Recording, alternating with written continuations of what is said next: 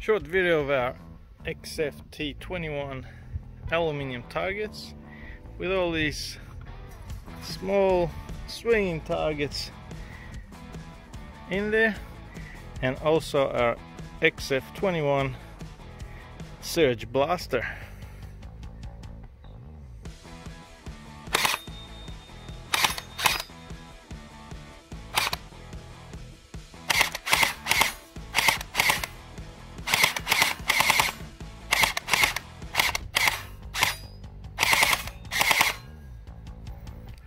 Awesome bit of fun.